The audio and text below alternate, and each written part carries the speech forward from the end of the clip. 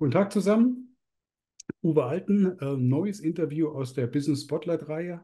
Ähm, heute freue ich mich ganz besonders auf etwas komplett anderes, was ich bisher noch nicht hatte. Zwar IT, aber aus einem komplett anderen Umfeld. Deswegen begrüße ich heute Günter, Günter Ernst, ähm, Gründer und Gesellschafter von MedDV. Also der Name alleine spricht ja schon für einiges. Ähm, Herr Ernst, super, dass Sie Zeit sich dafür nehmen, ähm, Ihr Unternehmen und sich in dem Interview mal zu präsentieren. Vielleicht starten Sie mal damit, dass Sie kurz sagen, was verbirgt sich jetzt wirklich hinter MedDV? Ja, das sind zwei, drei Sätzen vielleicht gar nicht so einfach. Also MedDV grundsätzlich steht für medizinische Datenverarbeitung mhm. und äh, das ist der Fokus, den wir auch haben. Also Besonderheit ist wahrscheinlich, dass wir selber auch aus dem Rettungsdienst kommen. Mein mhm. Mitgesellschafter und ich ja, sind beide viele Jahre Rettungsdienst gefahren, gut 15 Jahre und äh, haben da natürlich auch einiges gesehen, was vielleicht nicht ganz optimal läuft, was man vielleicht mit Digitalisierung verbessern könnte. Das war so die Idee, mit der wir an den Start gegangen sind. Ja, und dann hat sich das munter weiterentwickelt. Ein Kernthema ist schon so mobile Datenerfassung im Rettungsdienst, ähm, dass eben mobil tatsächlich schon auf Tablets eben Daten erfasst werden, dokumentiert wird und dann eben alle Schnittstellen, die damit dazugehören. Das heißt, dass die Daten von der Rettungsleitstelle direkt da drauf geschickt werden, dass wir die Daten auch ins Krankenhaus vorab senden, ja, sodass die, die ganzen Informationen über den Patienten schon im Krankenhaus sind, bevor der Patient überhaupt im Krankenhaus ist. Und das sorgt dann für eine optimale Vorbereitung innerhalb des Krankenhauses.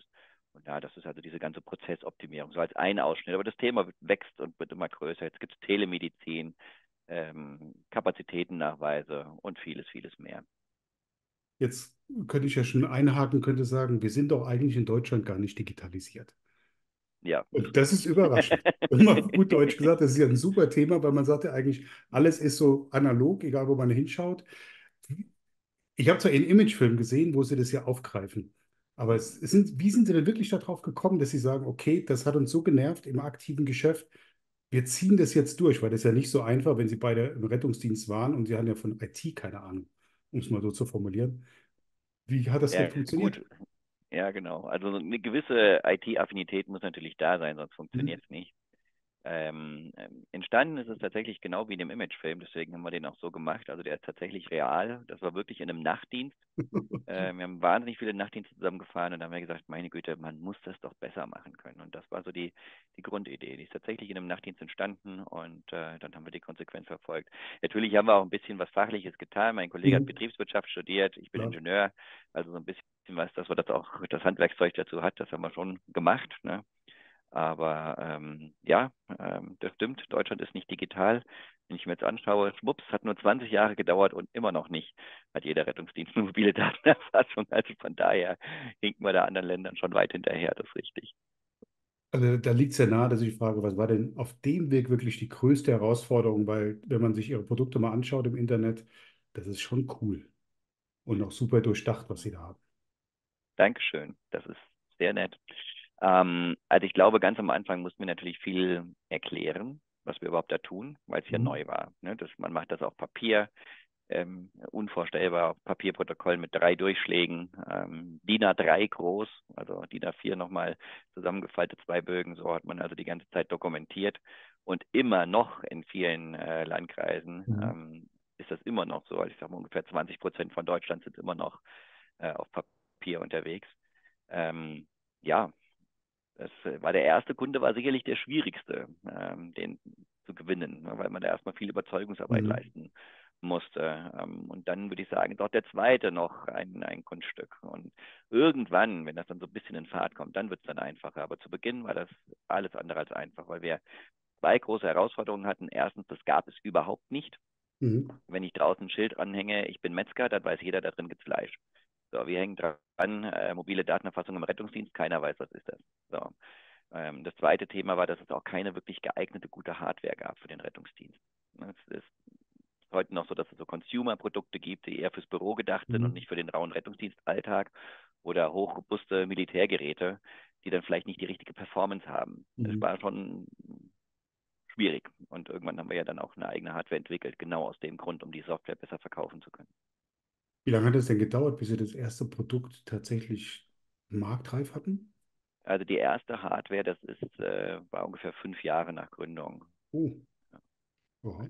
ja, war eine, war eine sehr, sehr herausfordernde und, und schwierige Zeit. Ähm, ja, weil da gibt es dann so, ähm, gibt's so einen mittelhessischen Beteiligungsfonds. Ähm, mhm. Ich meine, man hat ja erstmal nicht das Eigenkapital, eine eigene Hardwareentwicklung äh, zu stemmen. Ähm, das hat dann allerdings Eigenkapitalcharakter, ne, womit mhm. man dann zur Bank geht und sich den Rest noch dazu holt. Das war schon ein hohes Risiko, diesen Weg da erstmal zu gehen. Ähm, ja, und, und sicherlich keine einfache Zeit. Da gibt es schon ein paar schlaflose Nächte, aber ich glaube, das geht jedem so, der irgendwie in der Selbstständigkeit ist. Ne? Ja, das Schwierige ist ja immer dann, wenn man diesen Traum hat und weiß, das kann funktionieren, weil man auch die Erfahrung hat und auch genau die Feedback ja bekommt. Wenn ihr das mal so weit habt, kennt man ja, wenn ihr das so weit habt, dann machen wir das sicherlich. Aber mhm. diesen Weg bis dahin zu bekommen und das Geld dahin zu bekommen, ist ja schwierig. Hatten Sie denn super Unterstützung da von Ihrer lokalen Bank oder wo haben Sie letztendlich dann die Unterstützung bekommen? Absolut, absolut. Ähm, darf ich an der Stelle, glaube ich, auch gerne sagen. Also mhm. Äh, Sparkasse war da sehr nah dran und hat uns da wirklich die, die Treue gehalten und die Hand gehalten. Und das war wirklich eine sehr, sehr schwierige Zeit. Was einfach daher kam, das Steuerrecht mhm. war damals noch ein bisschen ein anderes. Das heißt, im Prinzip, Finanzamt hat gesagt, wunderbar, ihr habt einen Computer entwickelt, äh, der wird abgeschrieben auf drei Jahre. Das heißt, nach drei Jahren stand auf der einen Seite ein Euro und auf der anderen Seite hat man natürlich noch einen Kredit. Das mhm. ist ja klar, ja. der war in drei Jahren nicht zurückgezahlt. Ja. So, und damit ist zu einer Situation, wo man bilanziell überschuldet ist. Und in unserer Zeit äh, geht das schnell, dass das digital dann überall angekommen ist. Ja, da sind wir tatsächlich digital und dann können Sie nicht mal mehr Druckerpapier kaufen ohne mhm. Vorkasse. Ja. Und das ist natürlich echt anstrengend, wenn man dann Fortführungsprognosen schreiben muss und so weiter. Das ist das, was ich meinte mit schwieriger Zeit, ähm, sich da dann rauszustrampeln. Das war schwer. Ja, bin ich froh, dass das hinter uns liegt. Aber offensichtlich, wenn man sich mit ein bisschen mit Ihrem Unternehmen befasst, hat es funktioniert. Also man sieht ja wirklich, wenn man auf Ihre Webseite geht, wie gesagt, Imagefilm ist auch ein super Thema. Wenn Sie vielleicht noch mal kurz beschreiben, was die Idee dahinter war. Die haben Sie ja gerade erst im Dezember, glaube ich, letzten Jahres erst fertig gehabt. Ähm, wann haben Sie denn gemerkt, das fliegt jetzt? Also ich glaube wirklich ein ganz, ganz, ganz, ganz entscheidender Punkt war ein, ein großer Auftrag, den wir bekommen haben ähm, aus Bayern. Mhm. Das heißt, da dürfen wir dann das ganze Bundesland ausrüsten ähm, und das ist sicherlich ein, ein, Punkt, was man, was man gut lernen kann. Es, es geht sehr, sehr viel um Vertrauen. Mhm. Und da hatten wir auf der anderen Seite äh, einen Landesgeschäftsführer vom Bayerischen Roten Kreuz, der uns ein unfassbares Maß an Vertrauen entgegengebracht hat. Sind wir heute doch dankbar für. Also Wahnsinn, mhm. wirklich. Ähm, treffen uns auch ab und zu noch. Ähm, weil wir waren eine Sieben-Mann-Bude. So, mit oh. Sieben-Mann-Bude geben die uns einen Auftrag über 10 Millionen Euro. Herzlichen Glückwunsch. Ähm, ja, danke schön. Und äh, dieses Risiko muss man auch erstmal eingehen. Ja, klar. Aber die Produkte von uns haben Ihnen eben am besten gefallen. Ähm, der strategische Einkauf hat zwar gesagt, vielleicht nicht der optimale Partner, ähm, aber wie gesagt, der damalige Landesgeschäftsführer, der hat da uns das Vertrauen ausgesprochen und ähm, ja, da bin ich auch sehr dankbar dafür, dass wir genau dieses Vertrauen auch zurückzahlen konnten, ja, und äh, Bayern auch heute noch unser Kunde ist.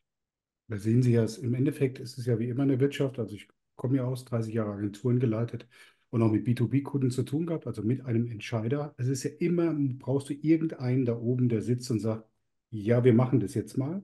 Auch gegen die Fachabteilungen, teilweise insbesondere die Einkaufsabteilung und sagt, die sind so cool, die sind so super, die sind zwar neu im Geschäft, aber denen gebe ich das jetzt mal. Hat das Ihnen denn geholfen, er hat ihnen Vertrauen gegeben, ein ganzes Land Bayern auszustatten, ist ja riesig, auf gut Deutsch gesagt, auch ein Flächenland. Ich will nicht wissen, wie viele Landkreise es da gibt, mit denen sie sich da auseinandersetzen mussten. Es ist ja auch eine Form von Projektmanagement, wo man dann rein muss in so ein, so ein ganzes Bundesland, um das abzubilden. Wie haben sie das denn hinbekommen? Weil es waren sieben Mann. Ja, äh, richtig. Also natürlich sind wir dann in, in, im Verlauf dieser Ausrüstung und Ertüchtigung mhm. des Bundeslandes auch gewachsen. Also da ging das dann so richtig los. Aber auch da muss man sagen, hatten wir wieder einen fantastischen Partner auf der anderen Seite. Mhm. Also auch da war das Bayerische Rote Kreuz schon sehr, sehr, sehr professionell aufgestellt, sehr professionell, indem die eine Projektleitung nicht nur intern hatten, sondern ganz bewusst eine externe Projektleiterin dazu genommen haben. Also eine über, übergeordnete externe Projektleiterin, die sozusagen oh. beide Seiten koordiniert hat. Und das, also nicht nur, dass die richtig, richtig gut ist, ähm, die gibt es auch heute noch, ist heute eine Mitarbeiterin von uns. ähm, ja, ähm, ja, aber sie hat das damals auch schon ja. unglaublich gut gemacht, weil sie damals auch schon eine wahnsinnige Erfahrung hatte mhm. ähm, und ja, ähm, natürlich auch das gut einschätzen konnte, dass wir sieben Mann sind und dass man uns nicht überfordern äh, darf, kann und hat das mit geschicktem Händchen gemacht. Das hat ja doch den Zeitstrahl gut im Griff gehabt, zu sehen, was kann ich wie in welchen Schritten überhaupt zumuten in der Organisation. So ist es, Und das ist ja natürlich vielleicht der Vorteil auch, dass es kein klassisches Wirtschaftsunternehmen ist, den Sie als Kunde hatten. Weil da ist ja meistens so, dass der, die Anforderung wird ja gleich so gesetzt. Und hier hatten Sie ja vielleicht die Chance, das nachhaltig organisch auszurollen wahrscheinlich. Also ich hätte jetzt gesagt gehabt, es war einfach sehr, sehr clever gemacht. Ähm, es war insofern sehr, sehr clever gemacht, ähm, ja, als dass man es nur funktioniert, wenn man das absolut durchstandardisiert. So, das heißt, in mhm. der Tat, das sind über 70 Landkreise. Das heißt, man hat äh, Cluster gebildet und mhm. hat dann eben äh, ja ein, zwei Landkreise ausgestattet und das als Blaupause genommen und diese Blaupause dann eben einfach ausgerollt auf alle weiteren. Das heißt, ab dann war das durchstandardisiert und dann kam eben einer nach dem anderen. Und dann kann man sowas auch machen, also auch als kleines Unternehmen. Aber ohne eine gute Standardisierung und ein, ohne einen klaren Fahrplan äh, ist sowas nicht machbar. Super, das zeigt ja auch, wie, also in meinem Job geht es oft darum, Systematisierung irgendwann am gewissen Punkt, ja. Das haben Sie ja dann mehr oder weniger mit dem ersten Riesenauftrag schon selbst einmassiert bekommen, wie wichtig Projektleitung, Systematisierung, Systeme, Handbücher ähm, aufsetzen, Copy and Paste, Multiplikation und so weiter umgesetzt haben. Wie schnell konnten Sie denn dann, nachdem auch mal das Bayern geschafft war, sage ich mal, wie schnell konnten Sie denn dann andere Landkreise gewinnen oder war das dann auch wieder auf Länderebene? Ähm, ja, unterschiedlich. Also ziemlich bald danach kam auch ein Bundesland dazu, das war Rheinland-Pfalz gewesen. Mhm.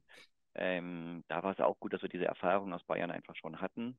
Ähm, ja, es ist aber sehr, sehr viel auch auf Landkreisebene. Mhm. Ja, wir hatten immer gedacht gehabt, okay, Bayern, das war jetzt ein riesiger Auftrag, jetzt wird es wieder ein bisschen runtergehen, es wird wieder weniger werden. Sowas ist einmalig. Ich meine, es ist Europas größter Rettungsdienst mit 1600 Fahrzeugen.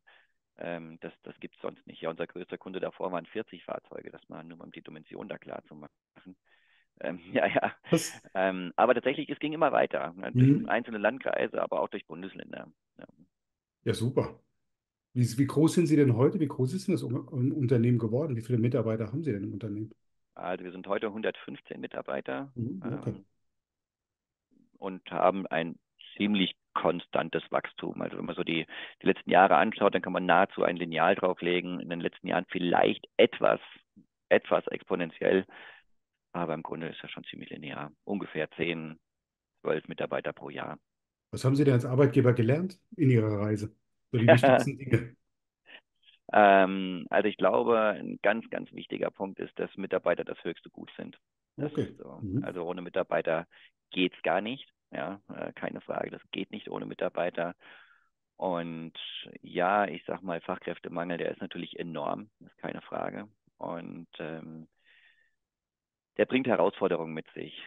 Ähm, und da muss man natürlich zusehen, dass man dieses höchste Gut auch gut beschützt und gut mit diesem höchsten Gut umgeht. Ja, ich glaube, das ist ein ganz, ganz wesentlicher Punkt, gerade was das betrifft. Vielleicht kann man auch ein bisschen ketzerisch dazu sagen, Recruiter braucht kein Mensch. Das habe ich vielleicht auch noch gelernt. Ähm, ja, am Ende sind sie nicht, nicht wertschöpfend, ähm, es, es, äh, sondern es wird ja irgendwo ein Mitarbeiter abgezogen, der wird irgendwo anders hingetan. Das heißt, da ist woanders ein Loch entstanden, das da wieder gefüllt werden muss. Und da hat man natürlich dann auch wieder die Zeit, die den Mitarbeiter neu eingearbeitet werden muss und so weiter. Also es hemmt eher eine gewisse Produktivität. Das heißt, wie versuchen Sie heute Mitarbeiter zu gewinnen? Ja, wir gehen schon die klassischen Wege. Mhm. Ähm, das heißt, es gibt ja diverse Anbieter, mhm. ähm, die Manche haben auch irgendwas mit, mit einem Fußballverein zu tun, ähm, wo man dann eben Anzeigen schalten kann. Also lokale Presse hilft nicht allzu viel. Mhm. Ähm, ja, natürlich wird irgendwie Social Media bedient. Man versucht das mit der Webseite ordentlich zu machen.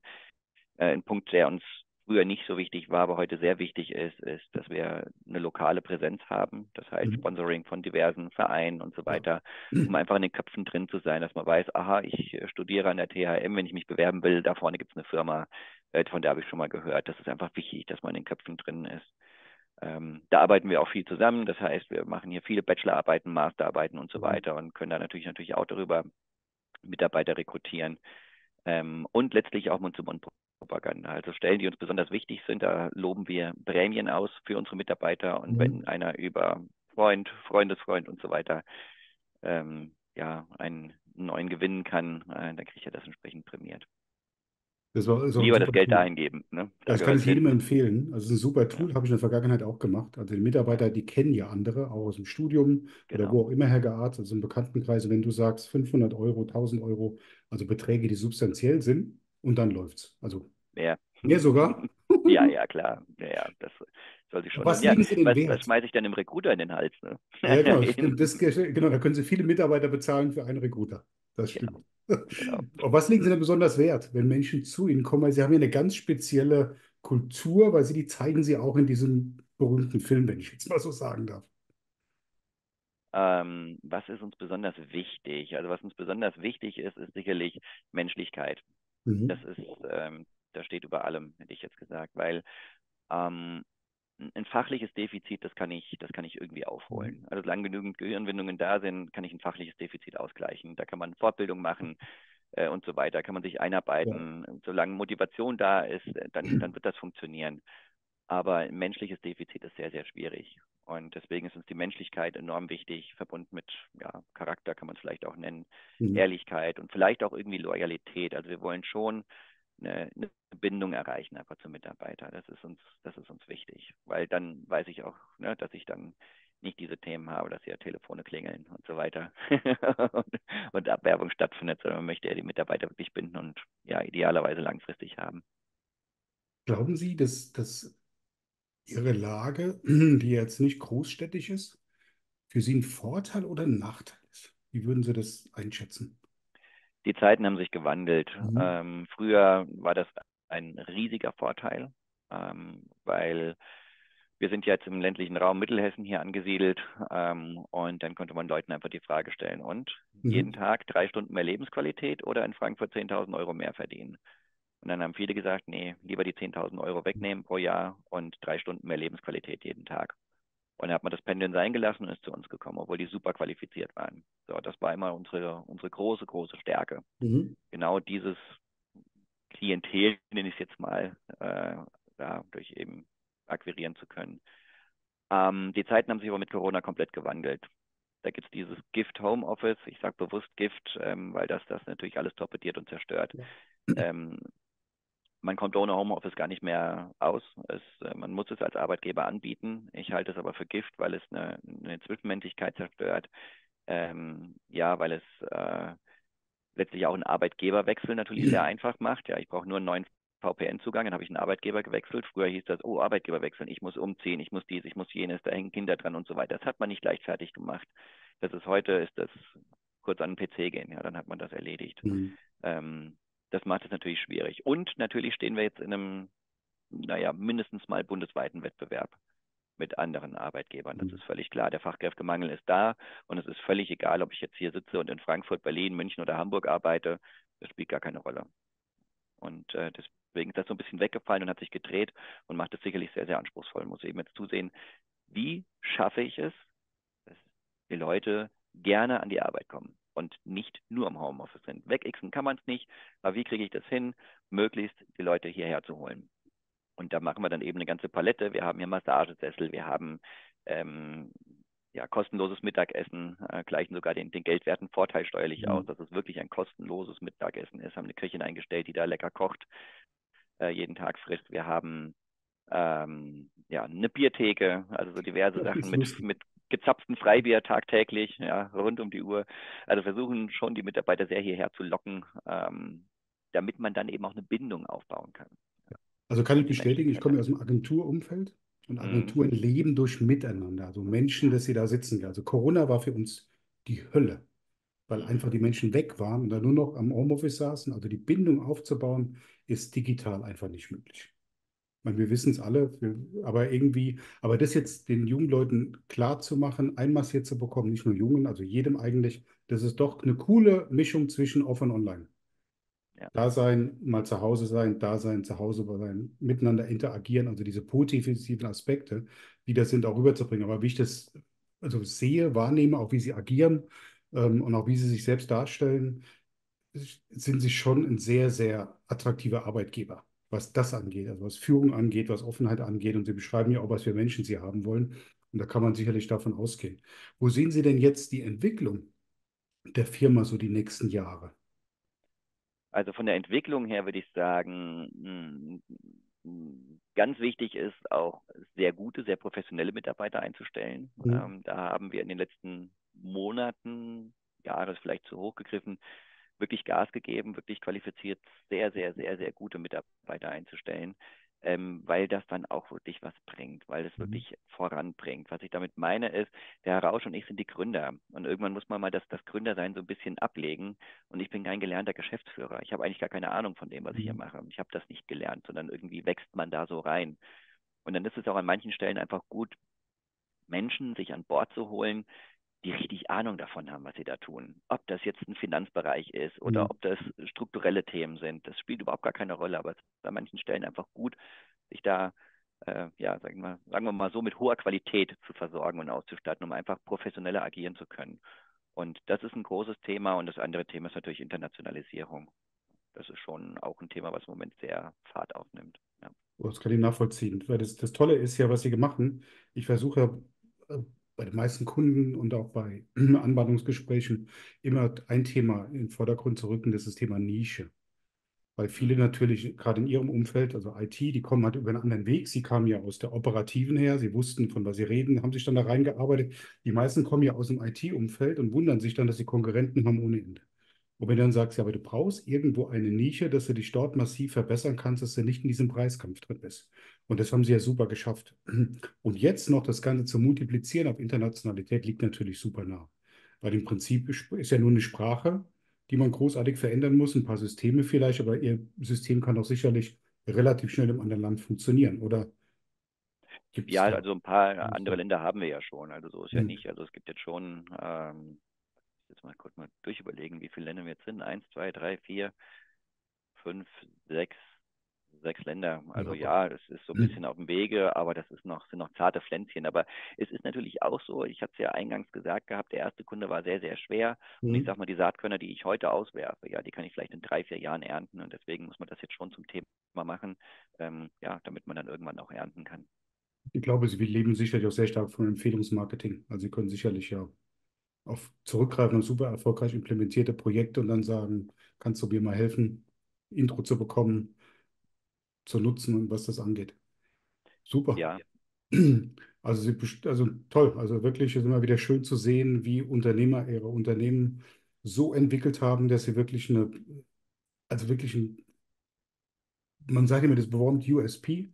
Ja, bei Ihnen ist es ja nicht nur ein Unique Selling Point, sondern bei Ihnen ist es wirklich ja ein sondern ein Ver- ein Alleinstellungsverkaufsmerkmal, ein Verkaufsargument, weil sie so spitz, so klar und so deutlich sind, was sie da als Mehrwert tatsächlich liefern können. Weil alleine, wenn ich mir überlege, wenn jemand, der das noch nicht digitalisiert hat, wenn der anfängt, sich auszurechnen, wie viel Zeit, Geld, Ressourcen er spart, ist das, was er ihnen zahlt, sicherlich ganz, ganz schnell, also bei so einer Herleitung, auf das die Finanzthemen angeht, relativ schnell im, im New Business für Sie machen, macht bestimmt Spaß. Also. Das ja gut, so, also äh, das wir, kann man wir, vor. Ich, also einfach fängt es im Kopf einfach an zu rattern, wenn man sieht, was für Argumente man Reason Why hat. Einwandbehandlung kann man super aufsetzen. Also ganz, ganz toll. Ähm, ich gucke gerade auf die Uhr. Oh, wir haben jetzt schon echt fast eine halbe Stunde, gell? Ähm, unfassbar. Ähm, zum Abschluss gibt es eine Frage, die ich Ihnen hätte stellen sollen, die ich nicht gestellt habe. ähm, ja, weiß ich nicht, das müssen Sie sagen. Also ähm, ja, ich weiß nicht, oft wird man auch nach, nach Wachstum oder solchen Themen gefragt. Ne? Sonst sind wir, glaube ich, durch, durch viele Sachen, Ja, durch viele Sachen durch. Ähm, auch was man vielleicht ja gelernt hat. Ich glaube, dazu habe ich auch ein paar Sachen gesagt. Also ähm, ja, also interessant ist sicherlich, glaube ich, dass, äh, dass man, dass man da passiver ist, als man meint. Ne? Oft meint man, der Chef ist der, der gestaltet, aber ich glaube, der, der Chef ist der beste Beifahrer. Ja, das ist mein Eindruck, weil, naja, ein, ein Auftrag kommt rein ähm, und dann kann ich den annehmen oder ich kann ihn nicht annehmen. Wenn ich den annehme, hat das be bestimmte Konsequenzen und da ist man doch manchmal auch recht, recht passiv. Ne? Ja. Da will ich nur eine Frage stellen, wenn Sie jetzt mal retroperspektivisch betracht, retroperspektivisch betrachtet, wenn Sie Ihrem 18-jährigen Ich so einen Tipp geben würden, was würden Sie dem heute für einen Tipp geben? Ja, das ist jetzt nicht abgesprochen, aber spielt ihn, glaube ich, ziemlich in die Karten. Also ich würde tatsächlich ähm, früher mal einen Coach an Bord nehmen. Ach so, ja, Gott. Alles, äh, ja, sich alles selber beizubringen, ja, ähm, klar. ist sicherlich ein bisschen der anstrengendere Weg. Und ich Mhm. glaube, das eine oder andere hätte man anders machen können und hätte weniger Ressourcen verbrannt, ich will es mal so sagen. Ich weiß auch nicht, ob es immer alles ganz schnell sein muss, ob man hätte schneller Nee. wachsen müssen und so weiter. Also das unsere Welt ist oft so, es muss alles noch schneller und so weiter. Das, das, sehe ich nicht unbedingt so, aber man muss nicht jede Falle und jeden Fehler mitnehmen. Ja, ein paar kann man, kann man einfach vermeiden, wenn man sich an ein paar Stellen ein bisschen Beratung dazu holt. Das haben wir an manchen Stellen auch getan, aber mhm. das würde ich heute sagen, hätte mehr sein dürfen. Super. Dann tausend Dank für den Lied an alle da draußen, die sich das anschauen, die in auf, der, auf der jungen Ebene sind ja und noch in der Entwicklungsphase sind. Ja, man, man kann manche Dinge halt vermeiden, indem jemand ein paar Spiegel vorhält oder mal ein paar Tipps gibt. Also tausend Dank, Herr Ernst. Also super, super, super tolles Interview, grandiose Firma. Also ein Aufruf an alle jungen Leute auch, die das sehen. Ähm, schaut euch das mal an. Das ist eine andere Form von IT äh, mit einem hohen Nachhaltigkeitsfaktor, denn er tut was Gutes. Er arbeitet für ein Umfeld, wo jeder möchte mal wenn er ein Problem hat, schnell gerettet werden. Und da wäre es nicht schlecht, wenn auch die Daten, die dafür benutzt werden, im Krankenhaus so schnell ankommen, dass wenn man da landet, nicht erst nur Papier gewälzt werden muss, sondern der Doktor schon im Vorfeld weiß, was tatsächlich da auf einen zukommt und kann da agieren. Also tausend Dank ja, für das Interview, äh, für Ihre Zeit und äh, drückt die Daumen, dass es auch so weitergeht. Sehr, sehr gerne. Dankeschön.